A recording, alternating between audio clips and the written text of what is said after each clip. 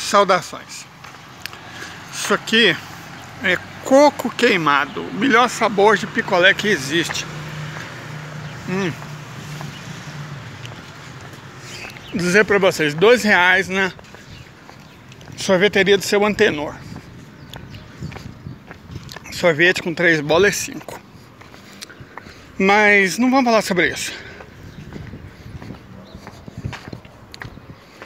Como eu estava dizendo no outro vídeo, antes de ser interrompido pelo fim da memória, o pensamento que norteia a ação do líder da Rússia é o do filósofo Vladimir Soloviev.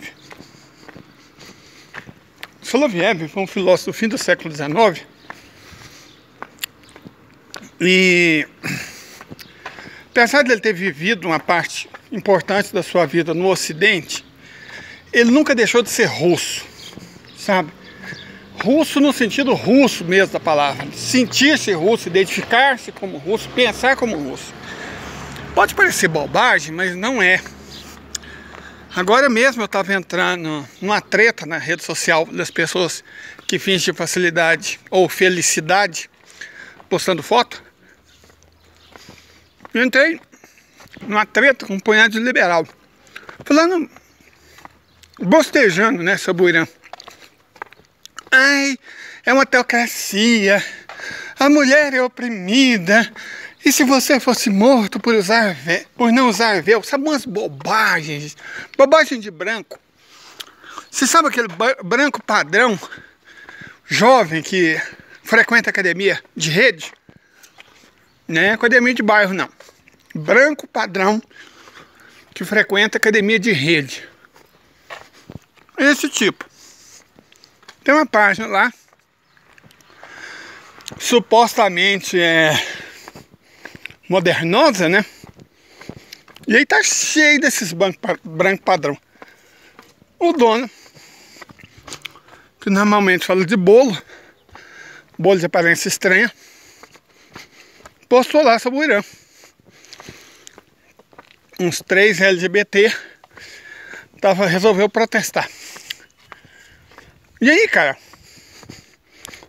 esse branco padrão, frequenta academia de rede, são todos iguais. O que os democratas defenderem, eles defendem. O sonho deles é ser tratado como igual em Miami. É um tipo de gente bem específico. E eu sei disso. Eu falei, ó, gente, sinta até os ossos, mas você não. Você está muito por fora do o Irã. Na verdade, vocês não entenderam nada do Irã. É. Falei que eu tinha tirado aquelas informações sobre a República Islâmica, das famosas vozes da cabeça deles, ou a fonte era Times New Roman 12, né? Nossa senhora, caputaço. Caputaço. Escrever textão, me replicaram, me xingaram, misógino, homofóbico. Hum. Cara, eu fico impressionado. O tanto que, esse, que esses carinha, esses classe média padrão, eles querem ser identificados com determinados valores. Um, é o tipo de gente bem capaz de frequentar um terreiro de umbanda, fazer potes de candomblé e tratar preto, preto de verdade, periferia, como se fosse lixo. Seria um pingo de vergonha. É o tipo, né? O... Um dos escritores que eu mais gosto. Um dos poetas que eu mais gosto. Eu amo poesia. Charles Baudelaire. Charles Baudelaire, nas Flores do Mal,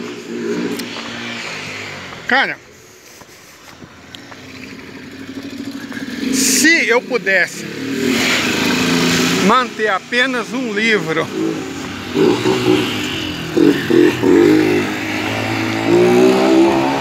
de poesia, eu escolheria Hilke. Mas não é todo mundo que curte simbolismo. Então se eu tivesse que indicar, é diferente de uma escolha para mim. Se eu tivesse que indicar um livro de poesia para os outros, eu indicaria As Flores do Mal. Hum, flores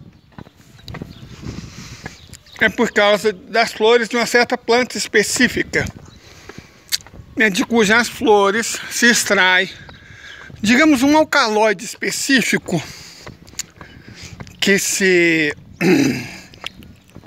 faz uma manteiguinha, coloca no chá, bebe, fica, digamos assim, empolgado, né? Então é dessa flor, dessa planta específica que Baudelaire está falando. Nas flores do mal, tem um poema em que é descrita a seguinte situação. O cara leva a galega, a morena, a cremosa, num restaurante. Em Paris. Charles Baudelaire era, era presença. Leva a, a amada num restaurante e ela se incomoda com a família que fica olhando eles comerem família de pessoas muito pobres.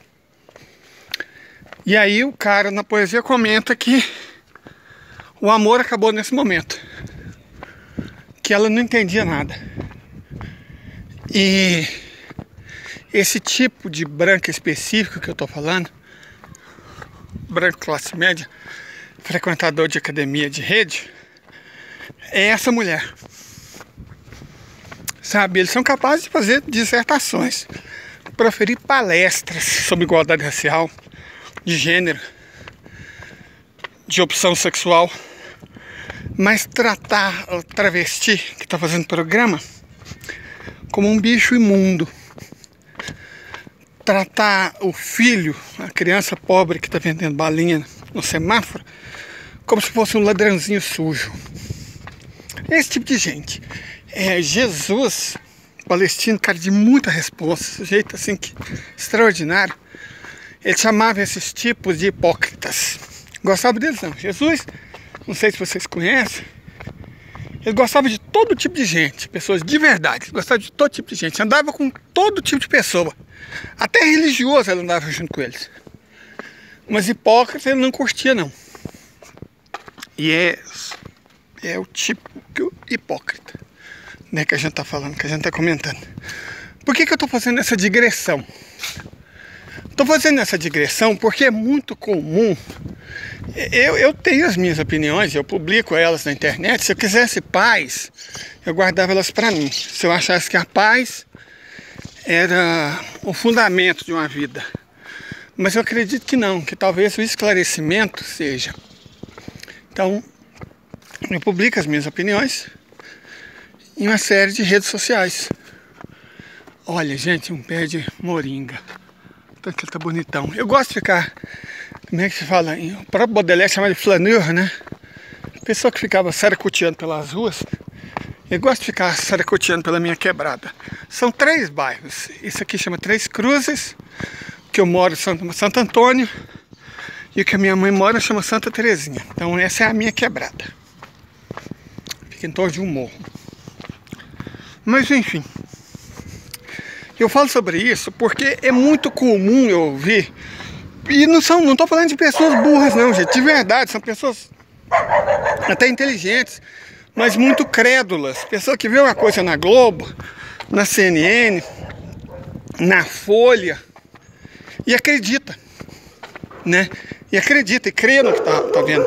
Então essas pessoas têm uma, normalmente uma opinião sobre o Putin muito desfavorável. Putin é vendido como um ignorante, um ditador, um sujeito que quer oprimir povos, é um, um mitômano, um egômano, sabe? Umas bobagens, cara, umas bobagens, uma coisa que não se fundamenta. E aí, um cara desse for na página da Wikipédia, Vai lá ver coisas absurdas como ah, o Putin é influenciado pelo Dugin. Que bobagem, Putin mandou o Dugin embora. Da Universidade Lomonosov. Putin é influenciado pelo Soloviev, até tem um vídeo sobre o Soloviev, explicando sobre o Soloviev, qual que é o pensamento do Soloviev, especificamente a parte que provavelmente influenciou o Putin, que é quando ele discute o fato de que a guerra nem sempre é má, às vezes ela é uma necessidade, às vezes ela não é nem um, um, um mal necessário, ela é um bem menor, porque tem muitos tipos de paz que você só encontra depois da guerra, que não vale a pena ser vivida. Certo? E isso é um pensamento muito russo.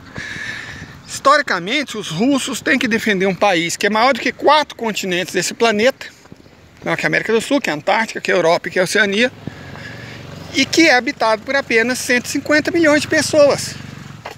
Então, é, para 150 milhões de pessoas apenas defender um país maior do que quatro continentes, digamos que o argumento delas tem que ser forte. E o argumento dos russos é não mexa comigo. Não faça isso. E as pessoas não entendem. Porque é muito fácil não entender. É a coisa mais fácil que tem no mundo é não entender. De verdade, tem pouca coisa mais fácil do que simplesmente não compreender e não querer compreender. E assim são as pessoas em relação ao Vladimir. Eu acredito honestamente na honestidade de propósitos do Vladimir. De verdade. De verdade, eu, pela minha idade, eu vi a queda do Muro de Berlim, o governo detestável do Gorbachev, o governo mil vezes pior do liberal Boris Yeltsin, e eu sei em que condições o Vladimir pegou a Rússia. E eu sei em que condições a Rússia está agora. É, o mundo, o mundo, é, para não ficar refém da tirania, seja dos nazis, seja dos yankees, tem que ter argumentos fortes. E o argumento forte, vocês sabem qual que é o que eu estou falando. Tio Stalin teve um, tio Vladimir tem outro. E é assim que o mundo avança. É assim que a verdadeira liberdade triunfa. Ok?